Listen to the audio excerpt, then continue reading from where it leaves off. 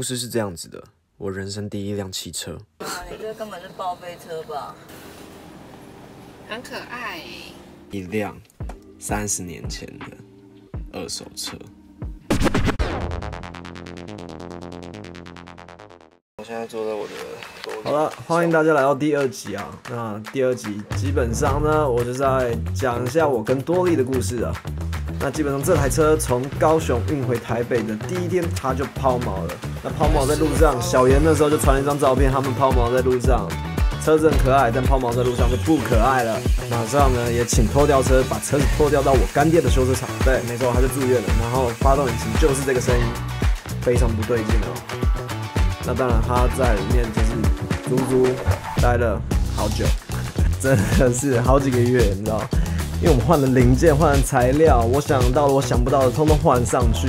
然后我以为我来到气球科，就还要，我以为卸轮框就好了，没想到到后面还要拆引擎，然后调正时皮带，反正就哇，好难。我后面真的是还是麻烦了昌哥、汉哥、小鱼，还有我干爹，真的很感谢他们。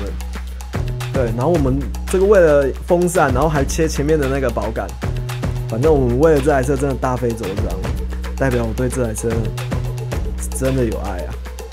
最后，我们终于可以重新启动它了。哎呦，有的倒退档在这里，有的倒退档在这里，我知道有的倒退档在这里，有的二档。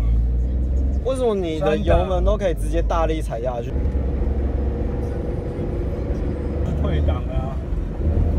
对，没错。车子回来的第一件事呢，就是请小烟，也就是我爸，教我开手排车。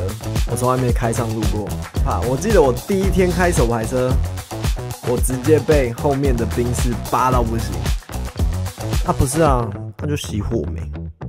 现在是边上也是，学会手排车第一件事就是载着好妈及好兄弟杀到宜兰。Let's go。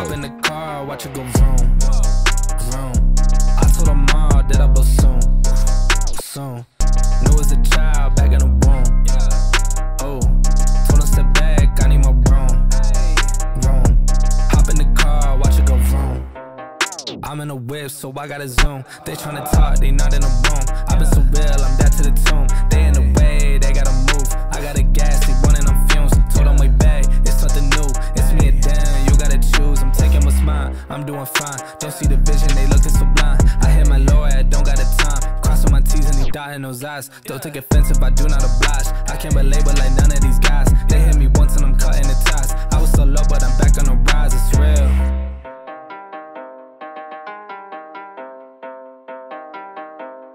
Hop in the car, watch it go vroom,